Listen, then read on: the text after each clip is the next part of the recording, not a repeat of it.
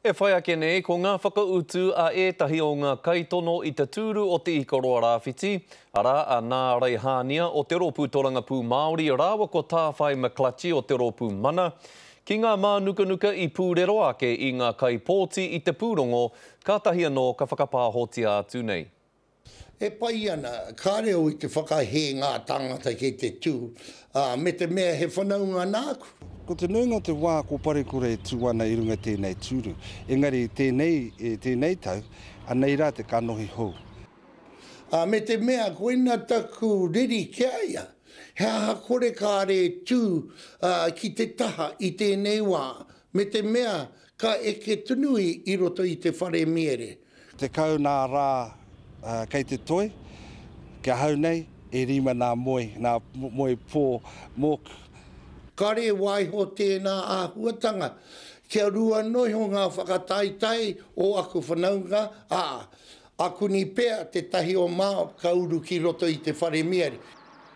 He kanohi pai, kanohi ātaahua, he kanohi ringa raupā i waenganui i ngā whānau.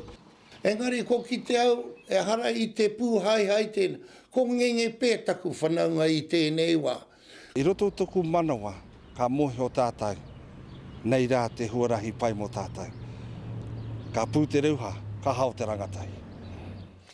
Kāre ō mātou mātanga tōrangapū a Willie Jackson rāua ko Maria Barge i te ohorere i te nui o te tautoko a ngā kaipōti ki a Parekura Horomia. Heoi he whakaaro anō ō rāua e pā ana ki te korenga o te rōpū kākāriki i roto i te whakataetae i te tūru o Te Ikaroa Rāwhiti.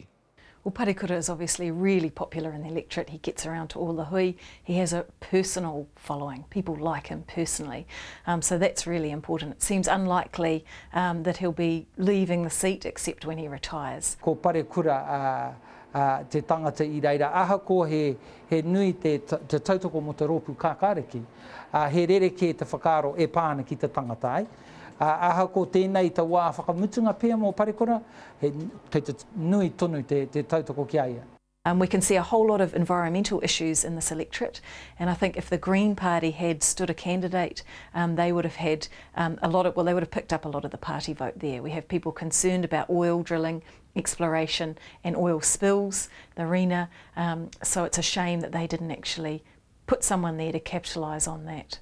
Nō te me kai te mōhio tātou he nui te kaupapa e pā ana ki te kere hunu ai i reira ki Rau Kumara Basin, koira te kaupapa nui i reira.